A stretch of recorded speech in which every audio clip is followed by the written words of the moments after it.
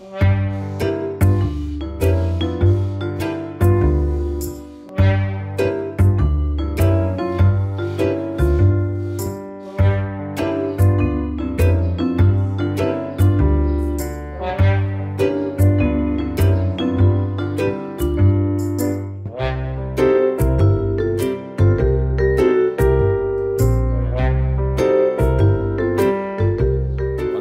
nur einen Schuh, man kauft immer den Schuh mit Reparatur und finaler Entsorgung.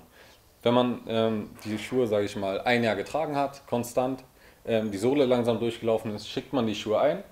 Wir reparieren die, tauschen die Sohlen komplett aus, weil wir ja Originalmaterial haben. Die Schuhe gehen wieder zurück zum Kunden und sind bereit für die nächste Saison.